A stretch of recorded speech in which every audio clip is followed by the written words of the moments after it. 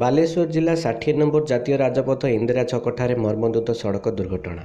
ରାଜପଥ ଉପରୁ ବସ୍ରୁ ଓହ୍ଲାଇ ମା ଝିଅ ଆସୁଥିବା ସମୟରେ ଡମ୍ପର ଧକ୍କାରେ ଝିଅ ମୃତ। ସୂଚନା ଅନୁସାରେ ବସ୍ତା ବ୍ଲକ ପୁରୁଷୋତ୍ତମପୁର ପଞ୍ଚାୟତ ବାଗଲଡିହା ଗ୍ରାମର ବିପ୍ଳବ ଗଣାଙ୍କର ସ୍ତ୍ରୀ ଏବଂ ଝିଅ ଶ୍ୱଶୁର ଘରକୁ ବସ୍ରେ ଆସି ଇନ୍ଦିରା ଛକଠାରେ ଓହ୍ଲାଇବା ପରେ ରାସ୍ତାରେ ଯାଉଥିବା ଡମ୍ପରଟି ଧକ୍କା ଦେଇଥିଲା। ଫଳରେ ଘଟଣାସ୍ଥଳରେ ବିପ୍ଳବଙ୍କ ଝିଅ ପ୍ରଜ୍ଞା ପରମିତାଗଣ ମୃତ୍ୟୁବରଣ କରିଥିଲେ। ସ୍ଥାନୀୟ ଜନସାଧାରଣଙ୍କ ଦ୍ୱାରା ମୃତ ଝିଅକୁ ବସ୍ତା ଡାକ୍ତରଖାନାକୁ ନିଆଯାଇଥିବା ବେଳେ ଘଟଣାସ୍ଥଳରେ ରାସ୍ତାରୋକ ସହ ଉତ୍ତେଜନା ଲାଗି ରହିଛି।